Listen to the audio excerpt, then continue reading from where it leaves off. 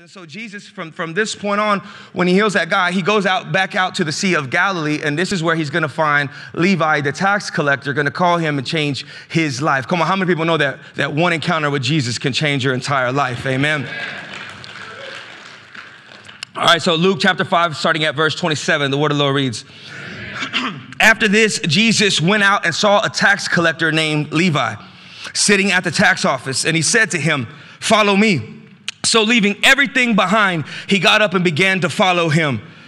And then Levi hosted a grand banquet for him at his house. Now, there was a large crowd of tax collectors and their scribe or tax collectors and other uh, who were guests with him. Verse 30. But the Pharisees, with their tax collect, where am I at? Oh, I skipped two parts. Sorry, guys. Starting over at 30. But the Pharisees and their scribes were complaining to his disciples, Why do you eat and drink with tax collectors and sinners? Jesus replied to them, The healthy don't need a doctor, but the sick do. I have not come to call the righteous, but the sinners to repentance. I like some versions, it says, I have not come to call those who think they are righteous, but those who know they are sinners and need to repent. Come on, how many people know they're lost without God? Right, and, and, what Jesus, he's shooting a slug at the Pharisees. He's like, I don't come to call those who think they are righteous. He's like, um, right? But those who know that they are sinners, that without Jesus, I cannot do a thing. Without, uh, apart from Christ, I can do nothing. But like what the Bible says, with God, nothing is impossible. Amen. And so we can uh, sum up this, this, this passage, the main idea um, in, one statement Jesus calls people to follow him without discrimination.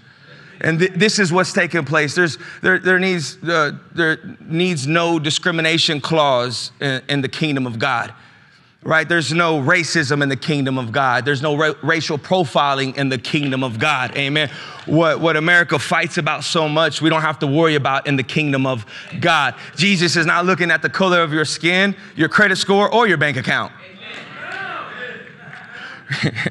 right? We should do a praise break right there. uh, thank God he's not looking at our bank account for salvation because we would try to finance that too. what was the interest rate on eternity, right? we would be in trouble. Uh, but there's no discrimination. Jesus will call whoever, and uh, it's, it's awesome because he's calling Levi the tax collector. And, and if you just read right through it, you, you may just kind of like skim over and not understand the importance of what Jesus is doing because he's calling a, a tax collector. Tax collectors were absolutely hated by the Jewish people.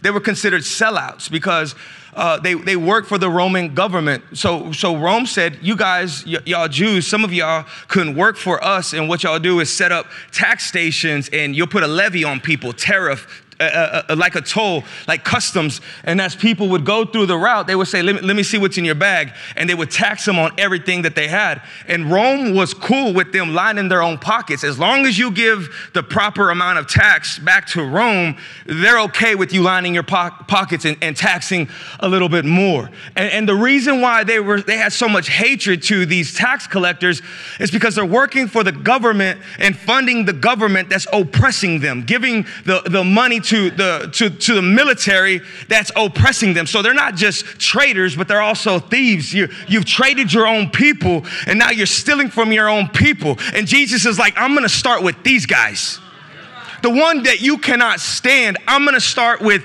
these guys, the, the, the lowest of the low on, on, on the uh, totem pole that you would have. And, and I'm thankful that Jesus goes to the lowest of the low. Come on, rise.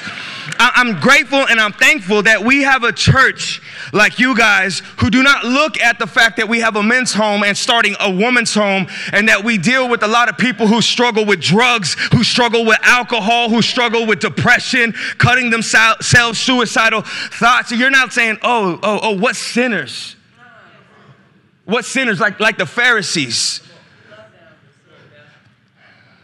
I, I tell you that, that if you hear that people are upset that we could help drug addicts and alcoholics, I would equate them to these people right here.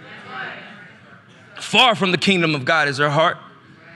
Because Jesus started with these people. And I thank God that you don't look like, oh, they're, they're, they're drug addicts and they're alcoholics and they, they went through what they went through. No, praise God that He can do something like that and save somebody who has went through what they went through. That's where I want to be. I want to be around where there's life. I want to be around where Jesus is performing miracles, there's testimonies, and there's praise reports of somebody who was bound and lost and got his family back, a mom who got her family back, people who got their marriage back, people who got their mind back. And I praise God that we have a church like that because this is where Jesus went to. He went to the lowest of the low. And I, I, thank God, with the help of His Holy Spirit, that we could take the people that nobody wants and turn them into the people that everybody wants. Thank you for joining us here at Rise Church Online. We hope today's message was impactful. Listen, we want to stay connected with you. So by clicking on the link below, you can find out how to do that. Also, by clicking on that giving link, you can help us continue to advance the kingdom of God through discipleship and outreach. Please subscribe to our channel for all new content. We'll see you next week. Thank you, and God bless.